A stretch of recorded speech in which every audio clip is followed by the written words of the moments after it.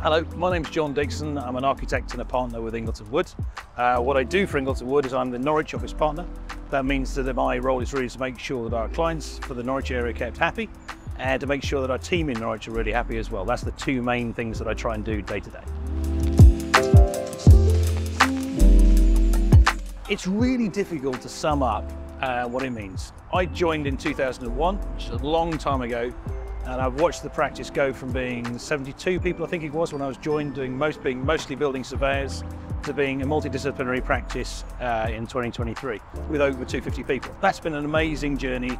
Really excited about being involved in a practice like this. It's the thing that I leap out of bed for at 5.38 in the morning for, and I love every bit that I do. I have a tremendously varied job, doing lots of different things, and it's a really exciting company to be involved in.